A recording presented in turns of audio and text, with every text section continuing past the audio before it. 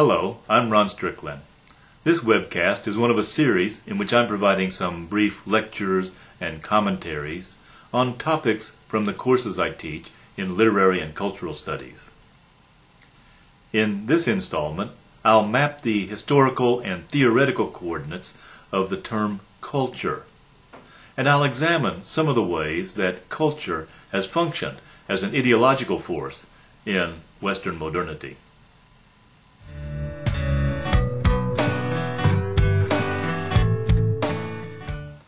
Word culture has had different definitions at different points in history. In most of the ways in which we use the word culture now, however, it's a distinctively modern concept. And the concept of culture has been an essential component of the dominant ideologies of Western modernity for the past 400 years. In his book Keywords, Raymond Williams, who was one of the pioneers of academic cultural studies, traces the definitions of the term culture in modernity. Williams points out that the word culture, derived from the Latin cultura, is initially associated with the tending of crops or animals. There's an echo of this original early meaning in the words agriculture and cultivation.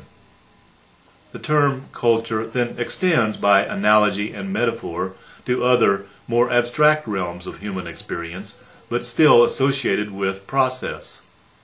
A term used to describe abstract and social processes of formation, preparation, training, building associated with human beings. Williams identifies three related definitions of the term culture that emerge at different historical moments in modernity. Beginning in the 17th century, culture is used as an abstract term to denote a general process of intellectual, spiritual, and aesthetic development. In this sense of the term, culture means something like civilization as opposed to barbarism. And I would suggest that there is a historical connection between this sense of the term culture and the concept of the aesthetic as developed by 18th century German idealist philosophers Alexander Baumgarten and Immanuel Kant.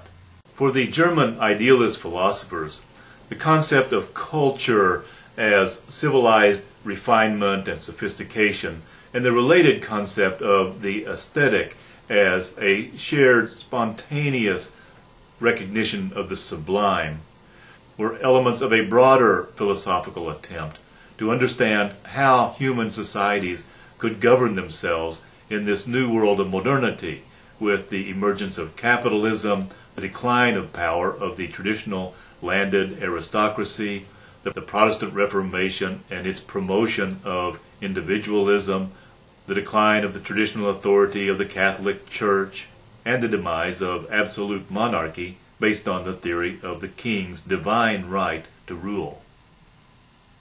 The concepts of culture and the aesthetic offered a framework for theorizing the possibility of political consensus, at least among a significant portion of society, those who held economic power, the bourgeoisie. Williams identifies a significant alteration or addition to this conception of culture as universalized civilization in the thought of the German philosopher Johann Gottfried von Herder in the late 18th century, and it is elaborated throughout the 19th century.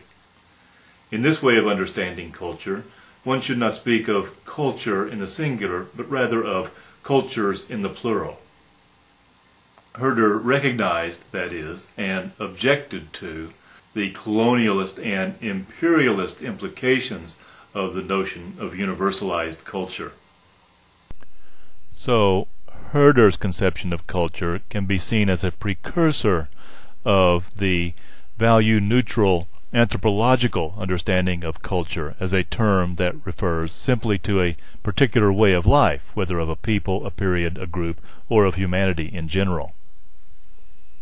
And finally, arriving very late on the scene, comes the distinctively modernist and familiar understanding of culture as referring specifically to fine art.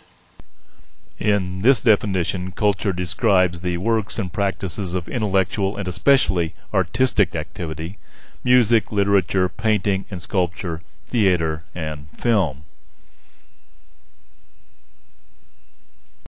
This last definition of culture, associating culture particularly with fine art, is a distinctively late modern development and a characteristic feature of high modernism.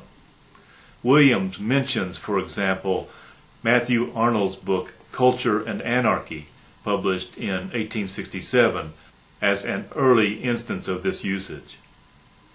This, it might be said, is the definition that provided the hegemonic framework for literary studies during most of the 20th century.